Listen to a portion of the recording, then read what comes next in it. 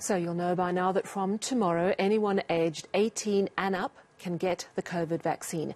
Government is hoping this will help stall the slump we've seen in the vaccination rate of late.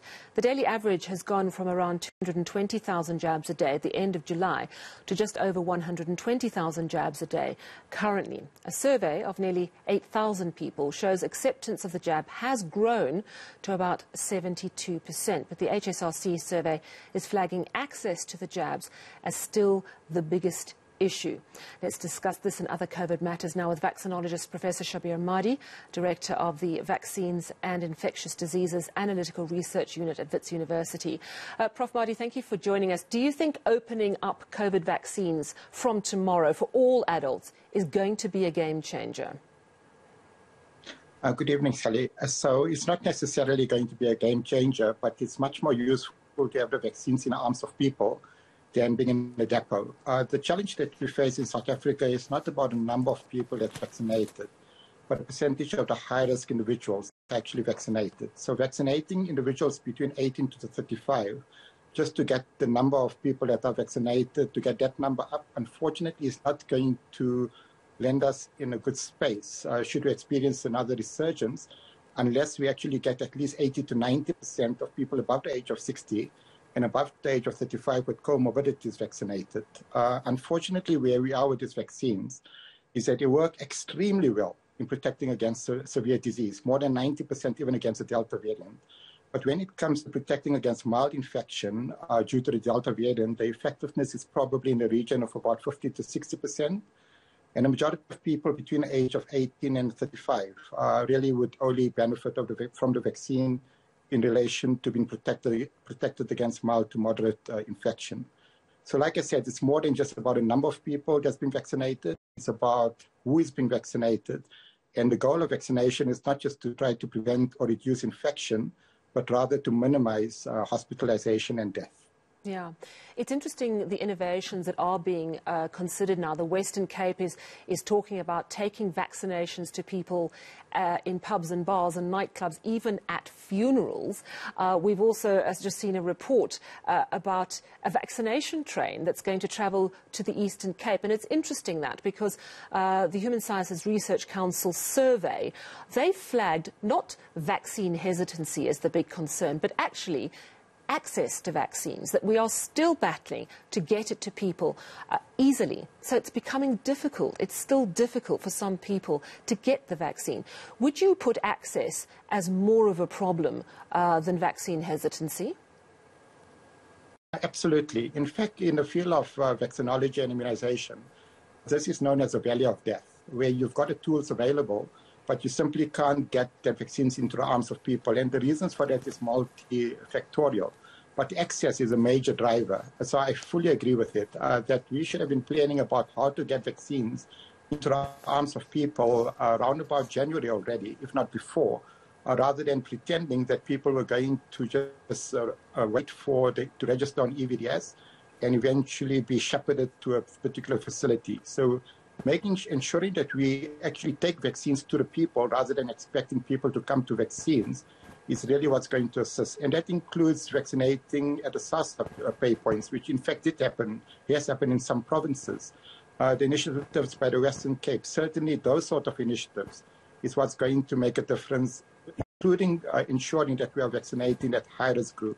Because my concern is really not the 18 to 35 year olds without any comorbidities. They're not going to end up in hospital in any meaningful numbers for the next resurgence. But those that remain under, unvaccinated above the age of 60, above the age of 35 with comorbidities, those are the ones that are going to end up in hospital and unfortunately at greatest risk of dying from COVID.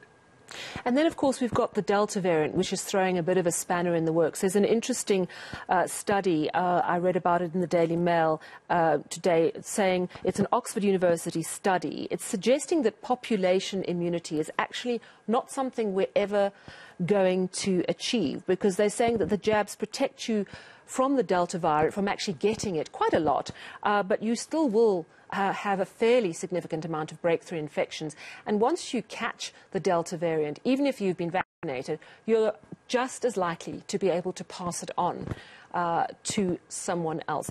So, explain to me the significance of the study and, and the possibility that we might never reach this goal of population immunity. Yeah, so I think uh, reaching population or herd immunity uh, was always a, an aspirational goal. And I think I need to, to state up front uh, no vaccine has ever been developed in the history of mankind specifically to reach herd immunity. Vaccines have always been developed to basically protect against severe disease and to minimize death. And that's the main goal of vaccines. Being able to reach herd immunity is more of a bonus. So what we see with the Delta variant is that depending on when people have been vaccinated in relation to the exposure, the vaccine effectiveness against mild infection due to the Delta variant is anything between 40% and 80%. If you've been vaccinated uh, three, four months ago, you probably got less effect, less uh, protection against the Delta variant than if you've been vaccinated more recently, because you get this waning of, uh, of uh, protection against the Delta variant. But people still remain, have a reduced risk of being infected, including developing mild infection. But amongst those that are infected, uh, it appears that they actually have very high viral loads, similarly to unvaccinated individuals, and they can still transmit the virus. So to get to this herd immunity or population immunity threshold, you need to, for the Delta variant now, we need to get about 85% of the population protected, not against developing severe disease, but against being infected with the virus. They need to be, the protection needs to be prevention of infection and mild disease. And there's absolutely no vaccine available to right. us right now that is able to uh, meet that sort of a measure. Talk to me about what this means for our fourth wave. We're being told that it's coming and that it's coming in December. Uh, and those of us getting vaccinated are going, well, if we're vaccinated, hopefully we'll be able to go on holiday. But you've just painted a picture of waning immunity. Are we looking at a situation where we might be in a pickle come December, even if we are vaccinated, because we're going to be needing boosters by then? No, absolutely not. Uh, the waning of immunity I'm referring to is specifically to mild infection. In all of the studies in Israel, in Qatar, as well as in the United Kingdom, the protection against severe disease remains above 90%. And like I said, if our goal is to prevent hospitalization and deaths, we can experience another resurgence, similar to what has been experienced in the United Kingdom and Israel. And as you saw over the weekend, in the United Kingdom, all of the soccer stadiums were completely full without people wearing masks, despite there being a resurgence of Delta. The reason they've got a comfort of being able to do that is they know that the majority of the population is protected against severe disease and death. So as soon as we can get that high penetration of vaccine into the arms of individuals that are at high risk of developing severe disease and death, we can pretty much get rid of all sort of preventive measures, including mm-hmm. the wearing of face masks, and actually get on with our lives, which is what we need to aspire to. Absolutely. It promises quite a measure of freedom. I have to speak to you very briefly about the numbers because they are alarming. 13,672 new cases. Positivity rate is down 19.9%, so that's, that's good. 317 deaths, still very high. But taking top spot in the provinces now uh, with the most infections is KwaZulu-Natal, 3,911 followed by the Western Cape, 3,700 odd, then Gauteng, then the Eastern Cape. The Western Cape today says they're not dropping yet, they're plateauing, and now we're seeing also KwaZulu-Natal seemingly still climbing. Talk to me about where we are uh, with those coastal provinces and the third wave, because we know that Gauteng is out of its third wave, but concern particularly for those two coastal provinces tonight. Uh, no, that's correct. And I think Western Cape has peaked, and we're likely to see significant decreases over the course of the next two to three weeks. Unfortunately for KwaZulu-Natal, uh, it is still very much on upward trajectory, and it's probably going to be another three to four weeks uh, before KwaZulu-Natal uh, actually peaks. Uh, what we're basically seeing in KwaZulu-Natal is a combination of a rebound after we went to level four, level three restrictions, coupled with the type of mass gatherings, the super spreader events that occurred even two to three, three to four weeks ago. Uh, and that is coming back to bite now. Uh, we're always going to experience a rebound when we went from level four to level three, especially in those provinces that hadn't as yet peaked at the time of implementation of level four restrictions. And I think so in KwaZulu-Natal, like I said, unfortunately, they're in a difficult space and you can expect things to get worse over the next three to four weeks. But an important lesson from this experience is we need to stop pretending that by going to higher levels of restriction, we're able to actually prevent hospitalization and death, uh, because that's not the case Uh, the only time any province should be put onto higher levels of restriction is when healthcare facilities are being overwhelmed, as was the case at that point in time in Gauteng, but not yeah. in KwaZulu-Natal and not in the Western Cape. Absolutely. Thank you so much.